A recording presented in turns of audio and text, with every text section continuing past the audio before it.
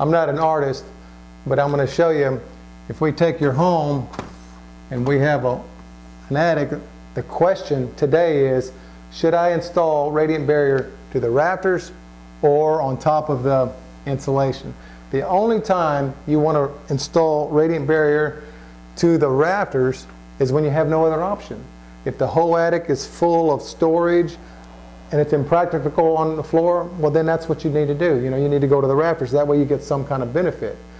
Other than that, there is not really a whole lot of reasons to go.